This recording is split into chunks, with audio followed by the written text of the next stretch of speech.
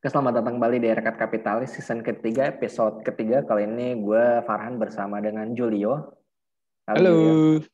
Kali ini kita akan bahas mengenai saham Antam yang naik sudah 60-an persen. Apakah saham Antam sudah kemahalan? Gila Jadi- sih Anto.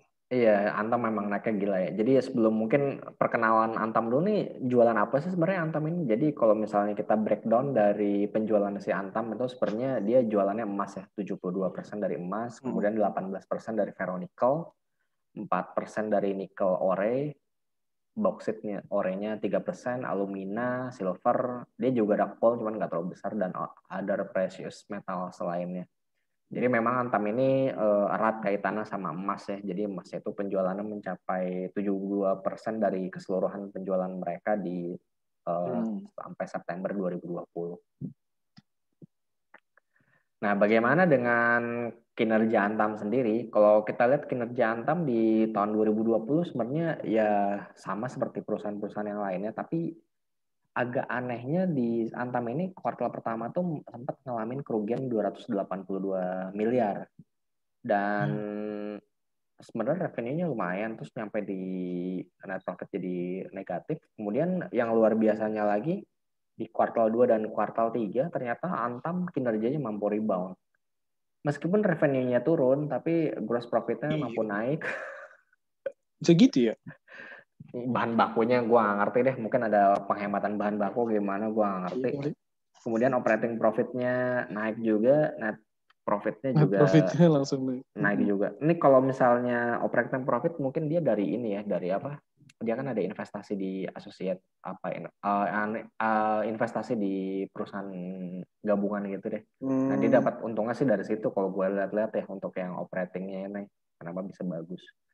Itu juga ngaruh juga net profitnya. Terus pas kuartal 3 2020 ini makin bagus lagi ternyata dua naik hampir 100% lebih jadi 8,8 triliun. Gross profit itu jadi 1,5 triliun, operating profit jadi 989 miliar dan net profit itu 751 miliar. Atau naik 104% untuk kuartal ketiga. Ini kuartal ketiga aja nih kita bicara. Hmm. Nah, makanya kalau kita lihat di sini di 9 bulan 9M20 eh, net revenue-nya totalnya si Antam itu 18 triliun, gross profit-nya 2,9 triliun, operating profit-nya 1,4 triliun dan net profit-nya 8,836 triliun. Kalau kita perhatiin dari sini sebenarnya revenue-nya Antam dari 2017 sampai 19 tuh revenue bagus ya pertumbuhannya. Iya nggak sih? Naik 39 persen, naik 100 persen, naik 29 persen. Tapi begitu nyampe di gross banget. profit juga bagus, maksudnya dari 800 1,6 triliun, 4,6 triliun. Tapi gue herannya ya, meskipun si revenue-nya naik, tapi gross profit-nya turun 4,6 persen.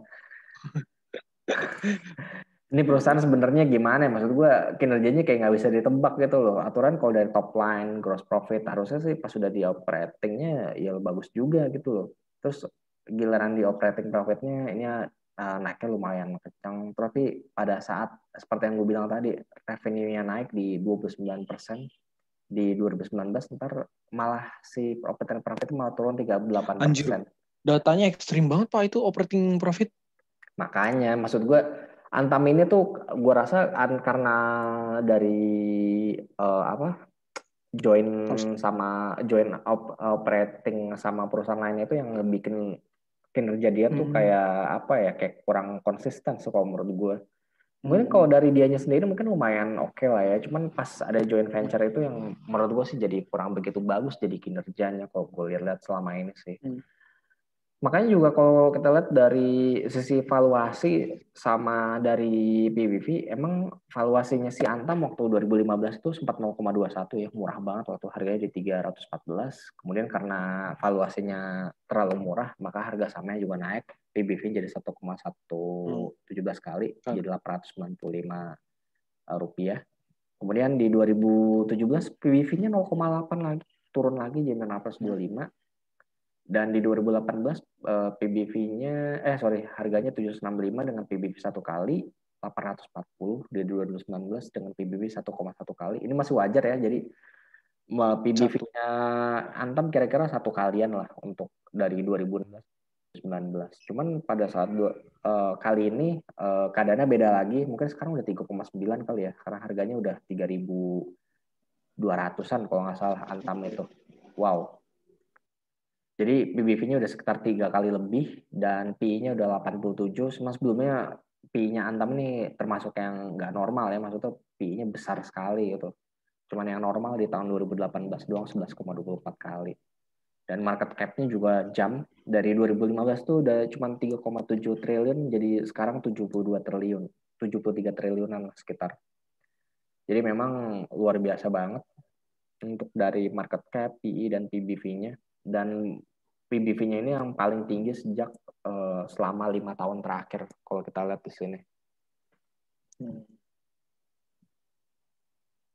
Terus juga marginnya mampu bagus ya. Jadi sekarang di 2000 di 2020 ini sampai 9 bulan uh, NPM-nya 4,6 persen, OPM-nya 7,98, GPM-nya 16,1 persen, ROE masih 4 persen, ROA 2,7 persen. Nah menurut lu, nih Antam ini menurut lu bakal sustain lama nggak sih? Apa ya udahlah bakal udah kayaknya nggak bakal lanjut lagi gitu. menurut lu gimana? Nah, kalau menurut gue nih uh, tren tren orang naruh duit kan belakangan kemarin kan nih ya kalau uh, gue rasa ya hmm. kan uh, kayak aset-aset ber, beresiko kan semuanya kayak pada orang uh, menghindari dulu kan terus orang hmm. banyak banyak beli ini kan banyak beli gold gitu kan banyak beli emas hmm. kan hmm. nah gue rasa itu inline banget sama uh, harganya dia yang sampai sekarang itu harga emasnya juga kan harga emasnya yeah. naik juga kan. Mm -hmm. Nah, hmm. kalau di level sekarang sih, hmm, gue rasa kayaknya orang udah nggak se-hype itu lagi buat beli emas deh segala, segala iya, macam. Iya, gue harga emas Antam juga udah mentok di satu jutaan. Iya, kalau gue rasa sih kayaknya nggak bakal hmm, yang naik gila-gilaan lagi kayak kayak kayak yang kemarin ini gitu. Iya, tapi ada pendapat yang bilang bahwa ini baru fase awal.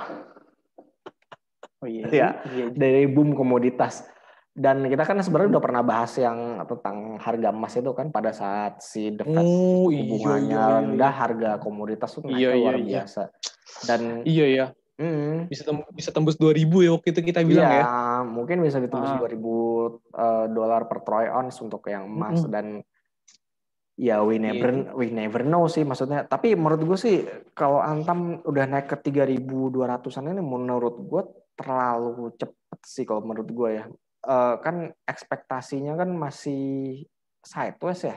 Maksudnya oke okay lah hmm. ini kita expect si Antam di 2021 kinerjanya bakal luar biasa dan keparesin dari sekarang gitu loh. Hmm. Gue kalau baru berapa hari bursa aja udah naik 60 persen, ya lu butuh kinerja yang luar biasa banget di tahun 2021 iya. untuk bisa untuk catching up sama kinerja lu kan hmm. dengan kinerja harga saham dan kinerja iya. keuangan lo. Itu kan maksud gua oh, gila. Mau naik hmm. berapa ratus berapa persen ininya revenue-nya uh, apa? Net profit segala macam. Jadi ya, kayak iya. apa ya?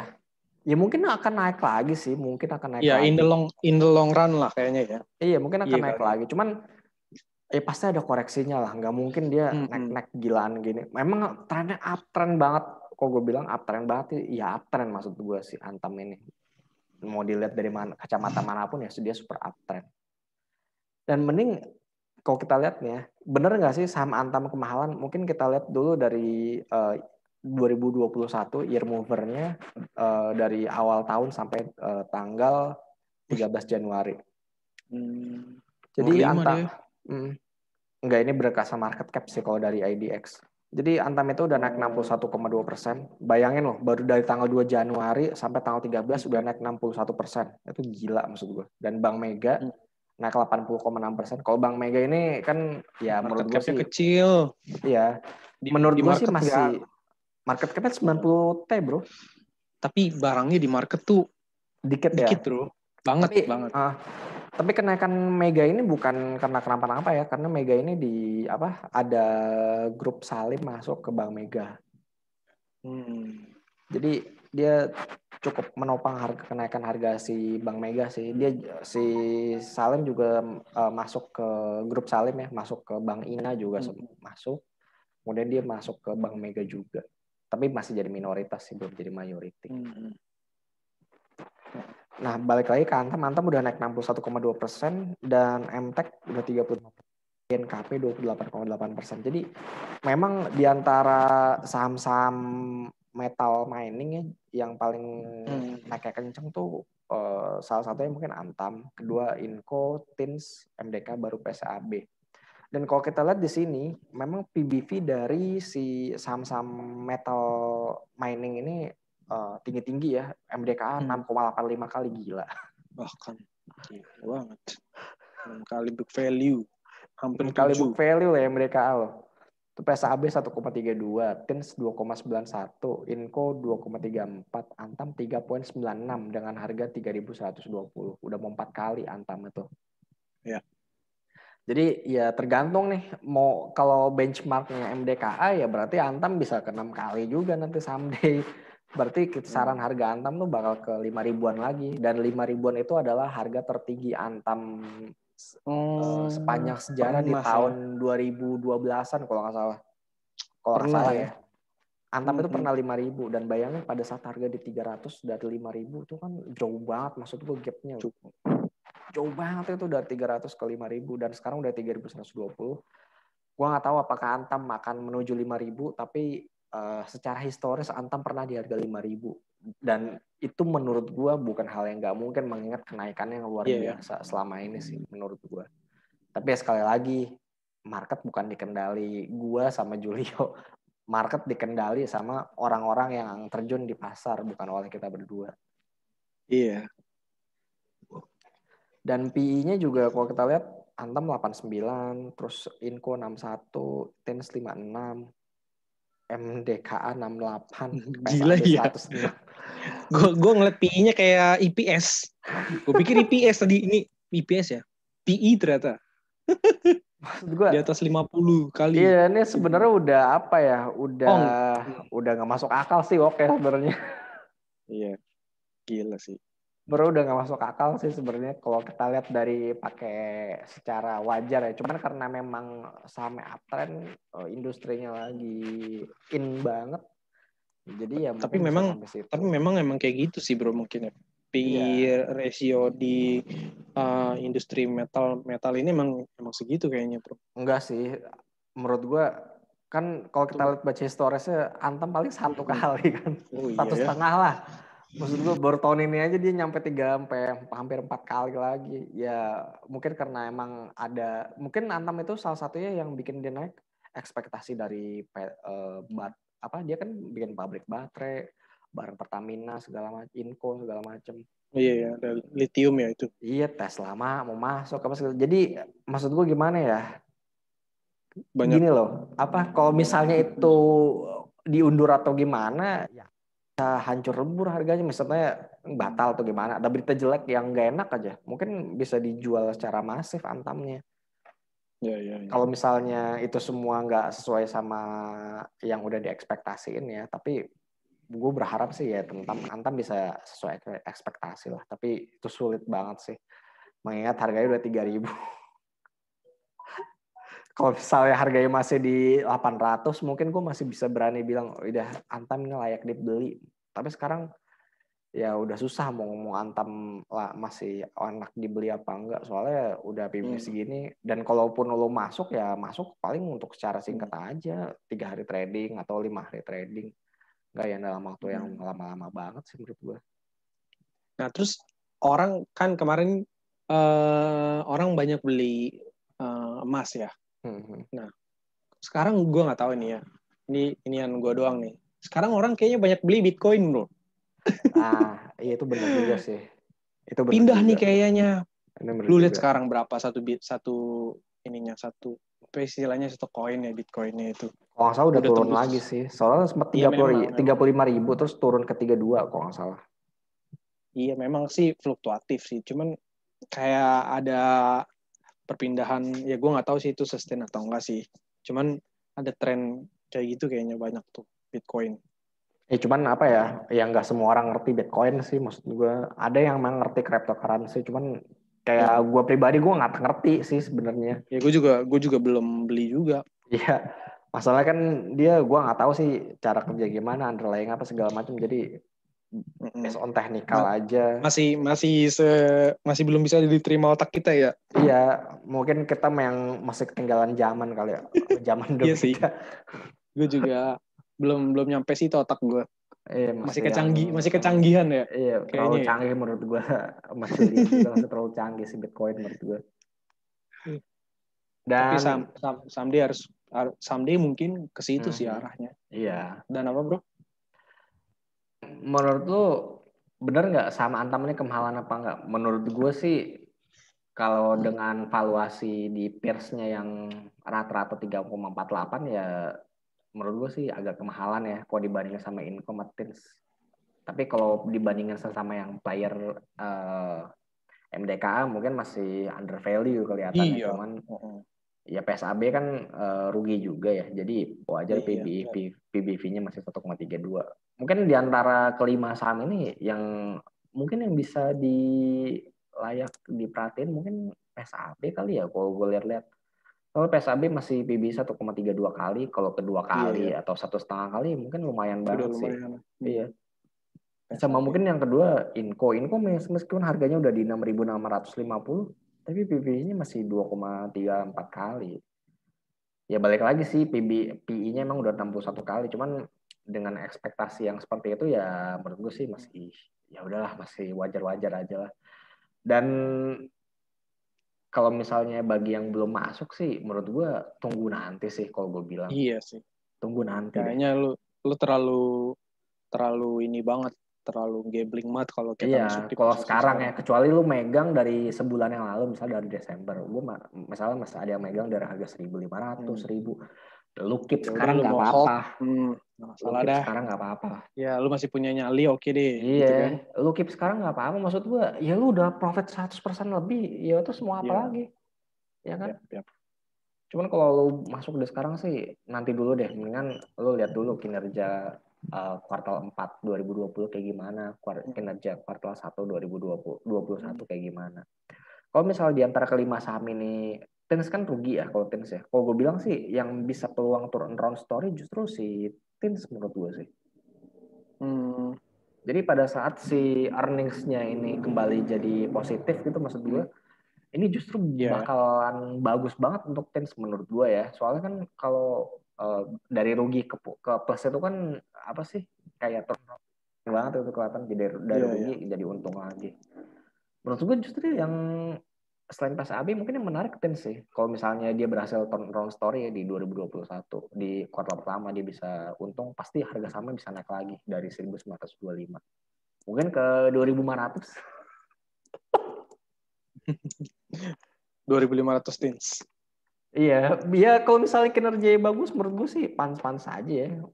Uh, iya, PBV-nya turun ya emang sih PBV bakalan turun paling 2,8 atau 2,7 sih misalnya kalau di earnings naik. Tapi at least yang penting kerjanya naik lah itu menurut gue masih bukan masuk akal masih oke okay lah untuk dijadikan kenaikan iya. tens gitu. Jadi menurut lo gimana? Antam kemahalan nggak? Atau menit atau ya. dari ya kemahalan ya menurut lo ya? Iya, oh menurut gue juga sama kemahalan. Jadi kalau misalnya kalian Jadi... mau investasi, mendingan di, di antara kelima saham ini mendingan tunggu laporan keuangan kuartal 1 atau yeah. kuartal 1 2021. Atau kalian emang kalau misalnya ah gue udah gak sabar ya silakan aja beli. Cuman harap perhatikan stop loss dan uh, taking profitnya di berapa itu udah yeah. ditentuin dari awal.